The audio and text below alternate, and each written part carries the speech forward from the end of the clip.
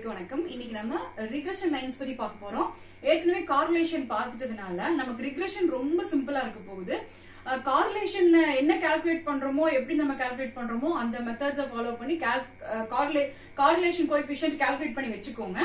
அதுக்கப்புறம் எக்ஸ்ட்ராவா நம்ம என்ன பண்ணுங்கிறத நான் இப்போ உங்களுக்கு சொல்றேன். தென் ரிகர்ஷன் லைன்ஸ்னா என்னன்றதுக்கு ஒரு பேசிக் ஐடியா வந்து நம்ம வச்சுக்கணும்.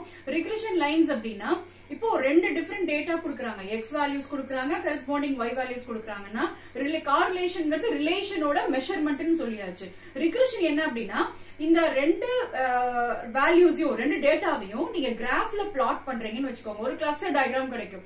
அந்த அந்த டயக்ராம்ஸ ஒரு அப்ராக்சிமேட்டா ஒரு லைனா நீங்க எடுத்துக்கிட்டீங்க. அப்ராக்சிமேட்டா ஒரு லைன் பண்ணினீங்க அப்படின்னா எக்ஸுக்கு ஒரு லைன் கிடைக்கும் ஒய்க்கு ஒரு லைன் கிடைக்கும். இந்த ரெண்டு லைனை வச்சு நம்ம ப்ரிடிக்ஷன்ஸ் பண்ண முடியும். இப்ப பாஸ்ட் ஹிஸ்டரியை வச்சுக்கிட்டு ஃபியூச்சர் ப்ரிடிக்ஷன்ஸ் பண்றதுக்கு நமக்கு இந்த ரிக்ரெஷன் லைன்ஸ் ரொம்ப ஹெல்ப்ஃபுல்லா இருக்க போகுது.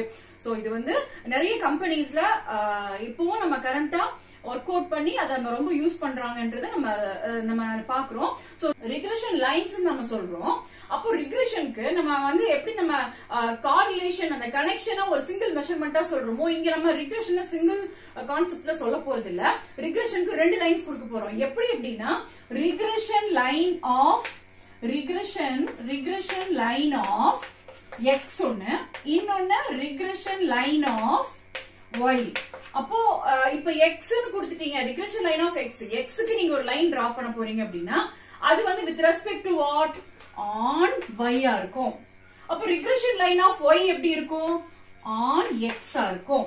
இப்ப இந்த ஆன் எக்ஸ் ஆன் ஒய்ங்கிறத வச்சு நம்ம கன்ஃபியூஸே பண்ணக்கூடாது. ரொம்ப சிம்பிளா எடுத்துக்கணும். ரிக்ரெஷன் லைன் ஆஃப் எக்ஸா ரிக்ரெஷன் லைன் ஆஃப் ஒய்யா இப்ப இந்த ரெண்டை மட்டும் யூஸ் பண்ணி நம்ம வந்து என்ன பண்ணலாம்? இந்த ரெண்டை மட்டும் மைண்ட்ல வச்சுட்டீங்க அப்படின்னா லைனை ஈஸியா நம்மளால ரீகால் பண்ணிக்க முடியும். ஃபர்ஸ்ட் நான் லைன் ஈக்குவேஷன்ஸ் என்னன்ற சொல்லிடுறேன். ரிகர்ஷன் லைன் ஆஃப் எக்ஸ் தான் நம்ம இப்ப மைண்ட்ல வச்சுக்கிறோம். அப்ப ரிகர்ஷன் லைன் ஆஃப் எக்ஸ் எப்படி கொண்டு வரணும் அப்படின்னா start with X x minus x bar equal to bxy இது இந்த bxy என்னன்னு சொல்ல போறோம்? Coefficient of regression சொல்ல போறோம்.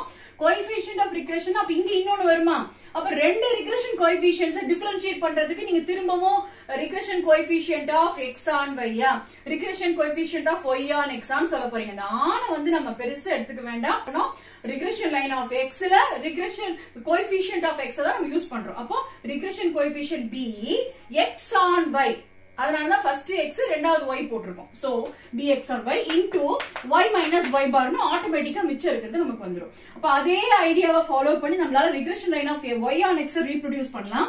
ரிக்ரெஷன் லைன் ஆஃப் ஒய் அப்படின்றதுனால start with Y Y minus Y bar equal to B இங்க என்ன வரும்? ரிக்ரெஷன் லைன் ஆஃப் ஒய் தான் டிரா பண்றோம். So B Y on X so B Y X in X minus X bar வச்சு நம்ம லைனை complete பண்றோம். இப்போ இந்த ரெண்டு லைனை நம்ம இது தனியா ஃபார்முலா கிடையாது.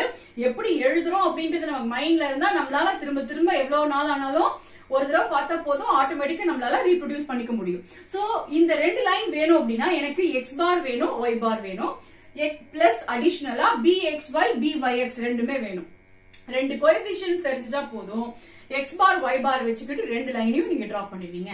அப்ப b x y b y x எப்படி நம்ம ப்ரொடியூஸ் பண்றதுங்கிறதுக்கு சொல்றேன். ரெண்டுக்குமே என்ன வேணும்? கார்லேஷன் கோஎபிஷியன்ட் வேணும். B X Y is equal to sigma இது என்ன coefficient regression coefficient of X first variable மட்டும் மைண்ட்ல வச்சுக்கோங்க. So sigma X by sigma Y into rho அவ்வளவுதான் ஃபார்முலா நெக்ஸ்ட் பி ஒய் எக்ஸையும் அதே மாதிரி நம்ம கொண்டு வரலாம். ரிக்ரெஷன் கோஎஃபிஷியன்ட் ஆஃப் ஒய் தான் நம்ம போட்டுட்டு இருக்கோம் so sigma Y by sigma X கீழே எக்ஸ் வரும். இங்க இன்டு ரோ வரும். சோ கோஎபிஷியன்ட் கால்குலேஷனுக்கு நம்ம இதுதான் வேணும். அப்போ இப்போ நீங்க பாத்தீங்கன்னா ரோ இருந்தா போதும். ரோ தான் மெயின் ஃபேக்டரா இருக்குது. கார்லேஷன் கோஎபிஷியன்ட் கால்குலேட் பண்ணிக்கணும். கால்குலேட் பண்ணிட்டு கார்லேஷன் கோஎபிஷியன் போகும்போதே நீங்க கண்டிப்பா standard deviation of X standard deviation of Y எல்லாம் இவாலுவேட் பண்ணிருப்பீங்க. அதெல்லாம் எடுத்துட்டு வந்து யூஸ் பண்ண போறோம். அதே மாதிரி எக்ஸ் பார் ஒய் பார் எல்லாம் இவாலுவேட் பண்ணிட்டு தான் நம்ம அடுத்து ஸ்டாண்டர்ட் டிவியேஷன் போவோம். இதெல்லாம் வச்சுக்கிட்டு தான் நம்ம ரோ கால்குலேட் பண்றோம். ரோ கால்குலேஷன் அப்பயும் உங்க கையில எல்லாமே இருக்கும். சோ ரோக்கு அப்புறம் நீங்க என்ன பண்ணோம் டைரக்டா பிஎக்ஸ்ஒய் பிஒய்எக்ஸ்க்கு போய்க்கலாம். சோ கோஎஃபிஷியன்ஸை கால்குலேட் பண்ணிட்டு நம்ம என்ன பண்ணலாம்? We can write the line equations அப்போ B X Y B Y X கண்டுபிடிச்சிட்டீங்கன்னா ஆட்டோமேட்டிக்கா இந்த லைன் குள்ள சப்ஸ்டிட் பண்ணி நம்ம ஈக்குவேஷன்ஸ் டைரக்டா நம்ம போட்டுலாம் இப்ப இதுல வேலை பெருசா இல்ல. ஒன் மோர் திங் நம்ம ரிக்ரெஷன் லைன்ஸ் அப்படின்னு பார்த்தோம்னா ப்ராபபிலிட்டி வேல்யூஸோட எடுத்துக்கிட்டு வந்து போட போறது இல்ல. சிம்பிளா ரா டேட்டாக்கு வெறும் எக்ஸுக்கு தனியா வேல்யூஸ் ஒய்க்கு தனியா டிஸ்கிரீட் வேல்யூஸ் அவ்வளவுதான். இதுல ப்ராபபிலிட்டி எங்கேயுமே நம்ம லிங்க் பண்ண போறது இல்ல. சோ எல்லாமே பாஸ் டேட்டா அப்ப எல்லாமே நடந்துருச்சு. சோ எல்லாமே அக்கர்ட் ஈவெண்ட்ஸ் எல்லாமே முடிஞ்சிருச்சு. அப்ப நீங்க அது ப்ராபபிலிட்டி இவாலுவேட் பண்ண வேண்டிய அவசியம் இல்லை. எல்லாமே முடிஞ்சிருச்சு. ஷோர் ஈவெண்ட்ஸ் தானே நடந்துருச்சு. அப்போ அந்த டேட்டாக்கு தான் நம்ம இதை டிரா பண்ண போறோம். சோ எக்ஸுக்கு தனியா ஒரு டென் டேட்டா வச்சுக்கோங்க. சோ கரஸ்பாண்டிங் ஒய்க்கும் டென் டேட்டா இருக்கும். டென் வேல்யூஸ் இருக்கும். அப்ப ரெண்டு எக்ஸ் ஒய்க்கு மட்டும் நீங்க எடுத்து போடுறீங்க. அப்ப உங்களுக்கு கால்குலேஷன் பார்ட் பார்க்கும்போது ரொம்ப சிம்பிள் எப்படி நம்ம ரோ ரோக்கு நான் வந்து உங்களுக்கு டிஸ்கிரிப்ஷன்ல அந்த லிங்க் கொடுத்துறேன். கார்லேஷன் கால்குலேஷன் பார்ட் நம்ம ஆல்ரெடி எடுத்தாச்சு. அந்த லிங்க் பாத்துட்டீங்கன்னா ரோ கால்குலேஷன் போட்டுக்கலாம். திரும்ப ஒரு தடவை ரீகால் பண்ணிக்கலாம்.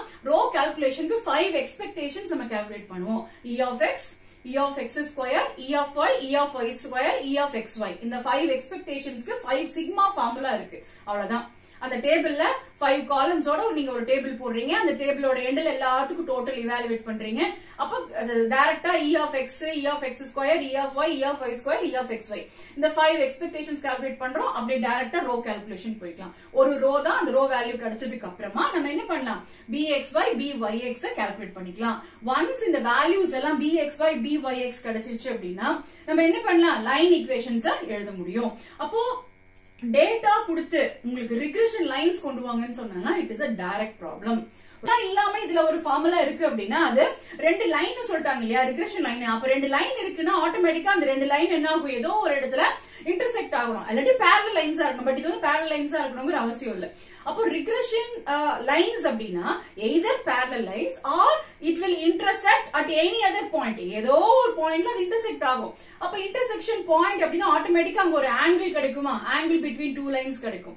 அப்போ ஆங்கிள் பிட்வீன் டூ லைன்ஸ்ங்கிறதுக்கு ஒரு ஃபார்முலா இருக்கு. எக்ஸ்ட்ராவா லைன் ஈக்குவேஷன்ஸ் இருக்கு. அந்த ஃபார்முலா என்னன்னு சொல்றேன். அதையும் நம்ம இப்ப பாத்துக்கலாம் சோ லைன் ஈக்குவேஷன்ஸ் இல்லாம இந்த ரெண்டு ஃபார்முலாவை நம்ம ஞாபகம் வச்சுக்கணும். ஃபர்ஸ்ட் ஃபார்முலா என்ன சொல்லுது? tan theta equal to 1 minus rho square divided by rho into sigma x sigma y divided by sigma x square plus sigma y square. இந்த rho sigma x sigma y எல்லாமே இருக்கும். அந்த five expectation calculation பார்ட்ல எல்லாமே cover ஆயிடுது. Next tan theta thetaக்கு formula substitute பண்ணுங்க. அப்ப theta equal to tan inverse of இங்க வர வேல்யூ என்னவோ அது. நம்ம கால்குலேட்டர் யூஸ் பண்ணா we can evaluate the theta value. So அது சிம்பிளான டைரக்ட் தான். ஓகே நெக்ஸ்ட் ரோ இப்போ ரிக்ரெஷன் கார்லேஷன் கோஎஃபிஷியன்ட் வச்சுட்டு தான் நீங்க ரிக்ரெஷன் லைன்ஸ் நீங்க டிரா பண்றீங்க. அப்ப bxy எக்ஸ் அப்ப இந்த மூணுக்கும் bxy எக்ஸ் அண்ட் ரோ இந்த மூணுக்கும் ஏதாவது ரிலேஷன் இருக்கானா? இதுதான் ஸ்டாண்டர்ட் ரிலேஷன் இது ரொம்ப இம்பார்ட்டன்ட் ரிலேஷன் இது நமக்கு ரொம்ப ஹெல்ப்ஃபுல்லா இருக்கும். பின்னாடி நம்ம லைன்ஸ கண்டுபிடிக்கிறதுக்கு ஐடென்டிஃபை பண்றதுக்கு இந்த ஃபார்முலா தான் நம்ம கிட்ட இருக்கிற க்ளூ எப்படி அப்படின்னா bxy byx plus or minus square root of bxy into byx plus or minus சொல்லிட்டாங்க. அப்ப எப்படி நம்ம சைன் டிசைட் பண்றது? பிஎக்ஸ்ஒயும் பிஒய்எக்ஸும் என்ன சைன்ல இருக்கோ அதே சைன் தான் நமக்கு இங்க ரோக்கும் இருக்கும். அதை வச்சுதான் நீங்க எய்தர் பிளஸ் வேல்யூ சூஸ் பண்ணுவீங்க ஆர் மைனஸ் வேல்யூ சூஸ் பண்ணுவீங்க. ஓகே இந்த ரெண்டு தான் நம்ம தெரிஞ்சுக்க வேண்டியது. ரிக்ரெஷன் இவ்வளவுதான் இருக்கு. இப்ப ப்ராப்ளம் வந்து டைரக்ட் ப்ராப்ளம் நம்ம சொல்லிட்டு சொன்னதுதான். டேட்டா கொடுத்து உங்களுக்கு find correlation and regression coefficients கேட்டாங்கன்னா நீங்க ஆஸ் பர் ரெகுலர் ப்ரொசீஜர் நீங்க ஃபைவ் எக்ஸ்பெக்டேஷன்ஸ் கால்குலேட் பண்ணி ரோ கால்குலேட் பண்றது தான் ஸ்டெப் ஒன் ரோக்கு அப்புறமா ரிக்ரெஷன் கோஎஃபிஷியன்ஸ்க்கு வாங்க. கோஎஃபிஷியன் கிடைச்சதுக்கு அப்புறம் அதோட ஸ்டாப் பண்ணக்கூடாது. ரிக்ரெஷன் லைன்ஸ் கிரியேட் பண்ணணும். லைன் ஃபார்மேட்ல நீங்க கொண்டு வந்து தான் நீங்க ப்ராப்ளம கம்ப்ளீட் பண்ணணும். ஏன்னா ரிக்ரெஷன் லைன்ஸ் கேட்டாங்கன்னா அப்படி கம்ப்ளீட் பண்ணும். இல்ல ரிக்ரெஷன் கோஎஃபிஷியன்ஸ் தான் வெறும் B X Y B Y X கால்குலேஷனோட போதும். அப்ப என்ன கேக்குறாங்கன்னு பார்த்துட்டு நீங்க அதுக்கு ஆன்சர் பண்ணுவீங்க. இப்ப ட்ரிக்கியா எப்படி கேட்கலாம் ஜென்ரலா ரெண்டு ஈக்குவேஷன்ஸ் கொடுத்து எது எக்ஸ் ஈக்குவேஷன் எது ஒய் ஈக்குவேஷன் ஐடென்டிஃபை பண்ண சொல்லுவாங்க அந்த மாதிரி ப்ராப்ளம் கொடுக்கறது ரேர் தான் பட் அதையும் நம்ம தெரிஞ்சுக்கிட்டோம் அப்படின்னா இதுல நம்ம வந்து தரவாயிடலாம் The two regression lines are 4x minus 5y plus 33 equal to 0 and 20x minus 9y equal to 107 and variance of x is equal to 25. Find the means of x and y, the values of rho and sigma y and the angle between the regression lines. So problem என்னன்றது பாத்துருப்பீங்க இப்ப இந்த கொஸ்டின்ல என்ன கொடுத்திருக்காங்க? ரெண்டு line equation கொடுத்திருக்காங்க. நான் ஃபர்ஸ்ட் என்ன பண்றேன்? ரெண்டு லைன் ஈக்குவேஷனை நோட் பண்ணி வச்சுட்டேன். எக்ஸ்ட்ராவா நமக்கு ஒரு வேரியன்ஸ் ஆஃப் எக்ஸ் இருக்கு. தோ எனக்கு ஆக்சுவலா தெரியாது. எந்த ஈக்குவேஷன் எதுவும் தெரியாது. சோ நான் என்ன பண்றேன்? ஃபர்ஸ்ட் அனானமஸா முதல்ல ஈக்குவேஷனை ரிக்ரெஷன் லைன் ஆஃப் எக்ஸ் எடுத்துக்கிறேன். ரிக்ரெஷன் லைன் ஆஃப் எக்ஸ் எடுத்துட்டேன். சோ ரிக்ரெஷன் லைன் ஆஃப் எக்ஸ்னா ஃபர்ஸ்ட் எனக்கு லெஃப்ட் ஹேண்ட் சைடுல எக்ஸ் தான் இருக்கணும். சோ இங்க இருக்கிற எக்ஸ் நான் ஃபர்ஸ்ட் லெஃப்ட் ஹேண்ட் சைடுல வச்சுக்கிட்டேன் ரிமைனிங் டேர்ம்ஸ் எல்லாம் bring it to the right hand side that is 5 by 4y minus 33 divided by 4 ஆச்சு அப்போ இதுல இருந்து what is the coefficient of regression coefficient of x on y bxy என்ன கண்டிப்பா என்னவா இருக்கணும் y யோட coefficient பார்ட் தான் உங்களோட regression uh, coefficient of x on y ஆ இருக்கணும் அதான் யூசுவலா அப்படிதான் இருக்கும் that is so bxy equal to 1.25ங்கறத ஐடென்டிஃபை பண்ணி வச்சிருக்கேன் அப்ப அப்ப இது x ஆர் y அப்படின்னா கண்டிப்பா இது வந்து regression லைன் ஆஃப் y தான் இருக்கணும். அப்ப y மட்டும் லெஃப்ட் ஹேண்ட் சைடுல இருக்கணும். மத்ததெல்லாம் ரைட் ஹேண்ட் சைடு கொண்டு வாங்க.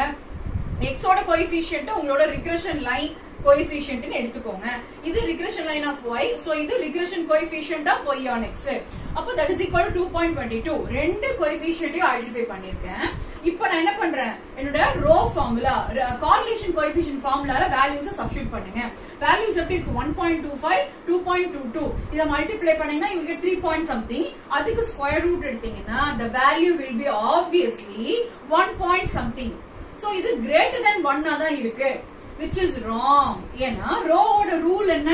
Rho value always lies between minus one and plus one நம்ம ரோவோட கேரக்டரைசேஷன்ஸ்ல நம்ம இதுவும் ஒன் ஆஃப் த ரூலா பார்த்திருக்கோம். அப்போ மைனஸ் ஒன்ல இருந்து பிளஸ் ஒன் குள்ள இருக்கலாம் பட் உங்களோட வேல்யூ எப்படி வந்திருக்கு? கிரேட்டர் தென் ஒன்னா வந்திருக்கு. இட் இஸ் ராங் அப்போ உங்களோட அசம்ஷன் எங்க இருந்து ஸ்டார்ட் ஆகுது? இந்த லைனை ஃபர்ஸ்ட் லைனை ரிக்ரெஷன் லைன் ஆஃப் எக்ஸ்னு வச்சுட்டதுல இருந்து என்னோட அசம்ஷன் ஸ்டார்ட் ஆயிருக்கு.